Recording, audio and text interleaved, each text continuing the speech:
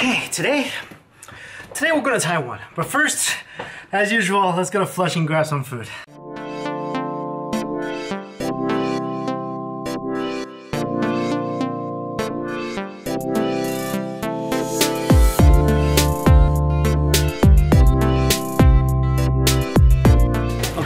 Judge me. I- I'm starving. I haven't eaten anything all day, and I'm not flying business class or first class, so the food on the plane's not gonna be that good. That's why I'm gonna make this meal count. And check this out. It's so pretty. It's kind of like a hot pot and noodle soup combined. And look at this. Got some chili peppers, shrimp, ham pole noodles, spam, of course, sesame on top, fatty beef, some tripe. You guys ready to see something really pretty? Oh, peanuts. Let's give this a mix. Oh yeah. Oh yeah. Oh, there's clams in here too, like treasures on the bottom. What is this, the Titanic? Lotus roots, bok choy. It just keeps getting better and better. Tell me you don't want this. Yeah, you do. Yeah, you want this. Oh, this is incredible. Now you might be thinking, okay, this isn't that bad. It's just a big bowl of noodle soup. Why are we judging you? Well, I also got like, like, like 20 dumplings. Is that is that too much? Is it? No. It's okay. Long flight. Our pork and chive dumplings. Take a little bath in hot oil and vinegar. Of course. Ooh, yeah. Think it's ready? I think it's ready. Mmm. That's a juicy dumpling. I like this dumpling. I just got a great idea. Take my dumpling, dip it in this. Let's see. The surprise needs a little bit of something. It needs vinegar. Black Chinese vinegar. Alright, I feel like now, now it's gonna be really good.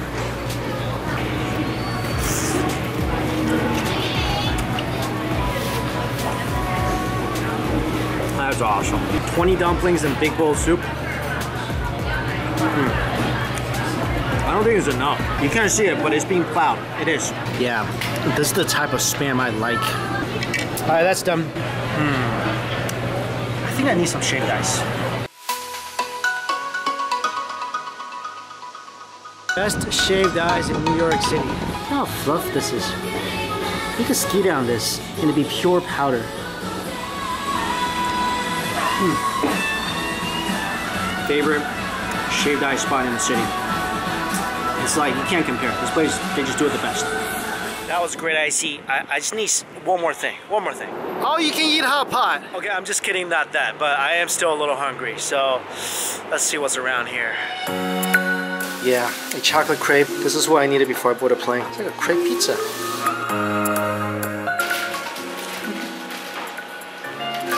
Crispy, chocolatey. It's the spot. Okay, that was nice. I, I think I'm good. Let's go to Taiwan.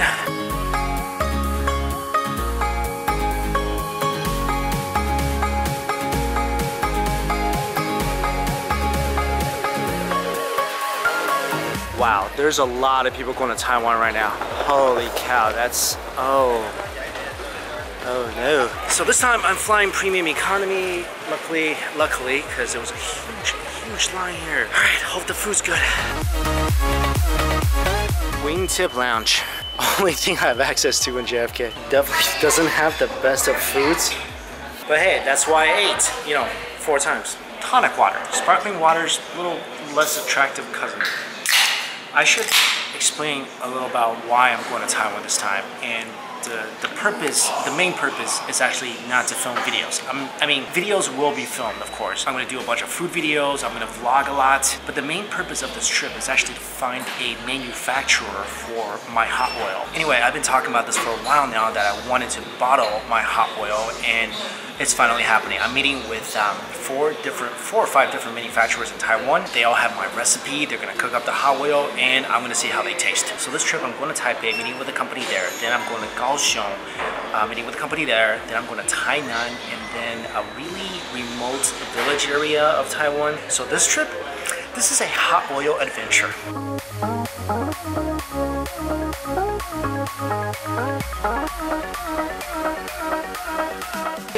This is me.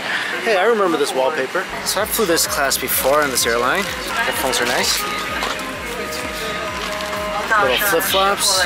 It's kind of space saving. This is a 15 hour flight and my seat really doesn't lean back much. And I got good news and bad news. The good news is I'm right by the bathroom, so I have easy access. The bad news is I'm right by the bathroom and kind of kind of smells a little bit. Oh, thank you. Thank you. I thought this was bread, but it's not. I think I'm hungry. I like this case, nice and sturdy. And your typical stuff. I do really like this little dealie here.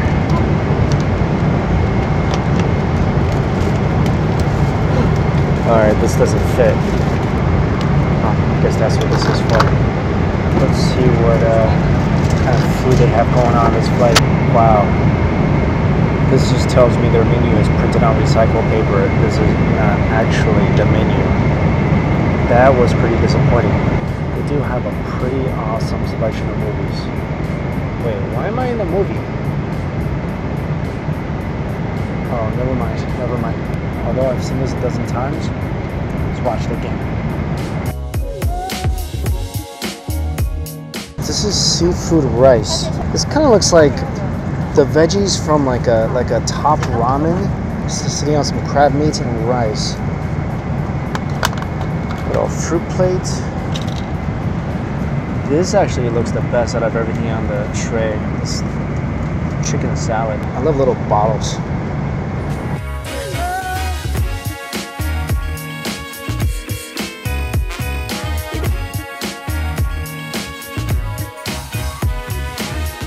It's a decent chicken salad. Uh, this stuff, this this looks a little weird. The rice a little mushy. Even though I know I'm eating the crab,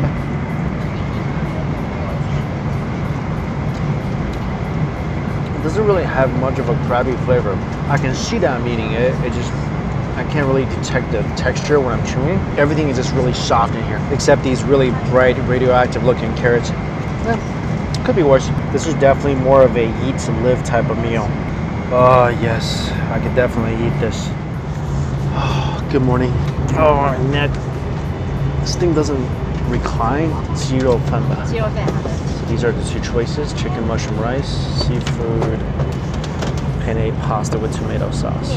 I'm actually really hungry right now so hungry. I don't know if you guys can see it on camera, but the carrots seem really, really bright on this flight. Both times. Then you get some blueberry yogurt and some fruit. This chicken's a bit gooey.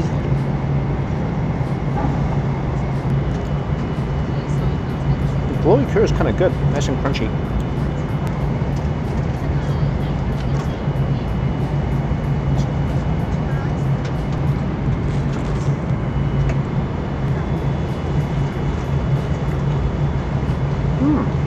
Is a really good plate of food. Vegetables are all seasoned well, they're nice and crunchy. This rice dish, much better than the last one. I feel like I eat more vegetables on flights than most of my other meals because most of the time the vegetables in these dishes taste much better than the meats. But this, this is a quality dish.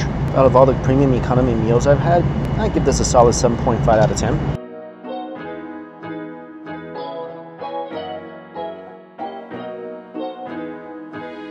It's 6 o'clock in the morning. I just landed in a very cloudy, thunderstormy Taipei. I think it's gonna thunderstorm all week, uh, which is gonna be interesting because I plan on going to a lot of street food tours, so I'll see how that can work out. Plane ride was okay, a little tough to sleep. Now the problem with getting into Taipei at 6 in the morning is that I can't really check into a hotel. So I'm gonna drop off my stuff at the hotel, and then I think it's gonna be noodle soup time. It's mid-October and it's still steamy hot in Taiwan. It's not a good thing when you can feel the humidity inside the airport.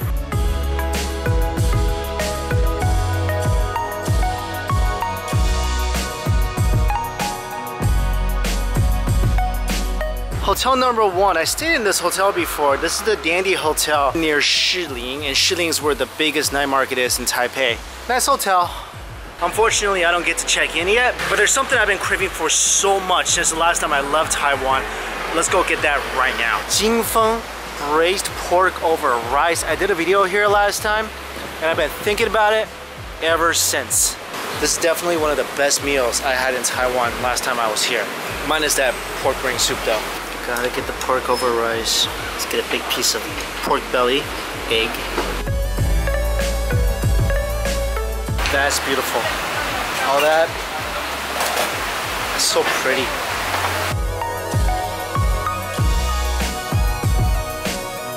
Look at that pork belly. That's so big he has to cut it with some scissors.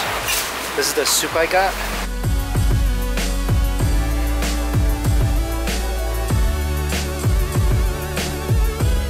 Happy Taiwan breakfast to me. The about the pork rice is that if you let it just sit there, all that fat is gonna dissipate and soak into that rice. And that rice is gonna transform into the food version of your soulmate. And you take this pork belly, oh, that's already falling apart. What? This tender piece of bacon, melty bacon, you put it on top of that. Man, my mouth is watering so much. I think yours should be right now as well.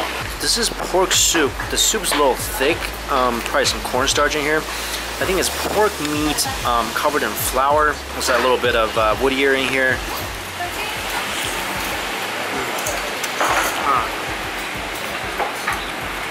That is great soup. I have a big old piece of pork. Mm. Cooked in a little flour. The flavor is off the hook. Little bamboo shoot in here. The soup is porky, it's seasoned so well. Not overly salty at all. This soup is fantastic. Look at this. The fat, like I was mentioning before, is already starting to dissipate. You see it sink into the rice. That rice on its own is already gonna be delicious. Add a little pork to that. Taiwan for me.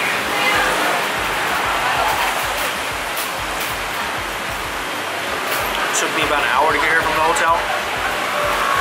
I'm so glad I did. It's been great for a while. Oh, this is one of the best eggs you'll ever put in your mouth.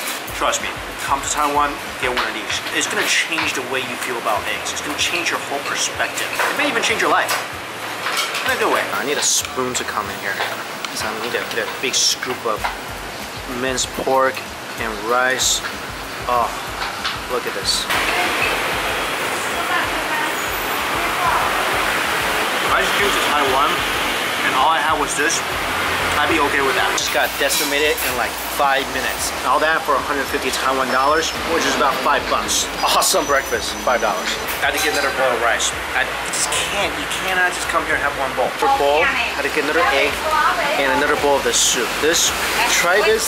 This will definitely break into your top two or three best soup ever list. Also, I got this. This is the same pork um, with the little flour paste out on the outside, but the soup is a little different with uh, winter melon. Oh, it's hot. It's really hot. Wow, it's less salty um, than the uh, than the other soup. It's definitely more more of a clear, nice, meaty, but also winter melony flavor. It's nice though. It's like a it's like a soft caress, gentle hug on a rainy day. Mm. Those ribs are nice and gentle. Mm. Oh, great soup. I still like this soup more, but it's a great soup. Okay, that's all done. Actually, I have to go film the first official food video, which I'm doing noodle soup in about two hours. And I just ate all that. But you know what? I feel good. Bring on the noodle soup.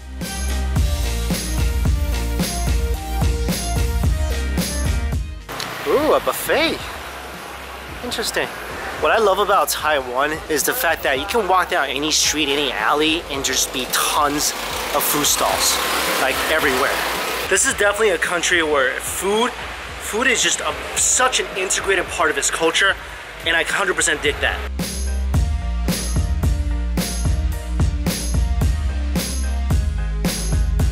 I'm at location number two for uh, the beef noodle soup video. In this place, Ling Dong um, beef noodle soup place, it's only got like like eight seats. It's a really tiny place, and the line is it's pretty deep. Um, it's a good day to eat noodle soup. It's rainy. Wish it was more cold.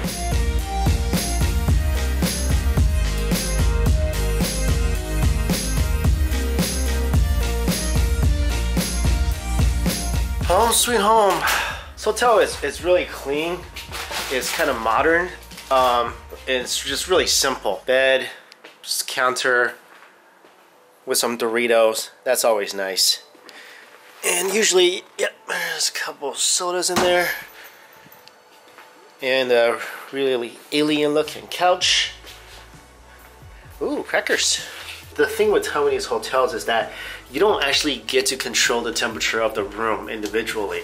They control it through the whole entire hotel. Keep it around 22, which I think is what, like low 70s, high 60s. There was even a time when I first came to Taiwan that it got so cold, they actually had to give me a heater for my room because it was just like freezing. Bathroom, yay. Ah, really nice legally arranged toiletries. Of course, a modern electric toilet and a clean shower. I'm only gonna be here one night and tomorrow I'm going to the W Hotel, but now I need to take a shower. I'm like, I smell like an airplane. Then I'm gonna go eat that $300 bowl of noodle soup. Beef noodle soup video of the day. This is the fancy place. Beef Daddy. It literally translates to Beef Daddy.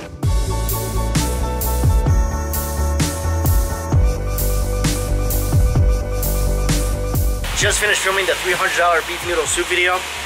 My goodness, was that good. I mean, can't make that a habit. I mean, dropping 300 bucks on a bowl of beef, beef noodle soup, that's, that's like once in a lifetime kind of thing. But if you love beef noodle soup, you should, I, I don't know, maybe get like 10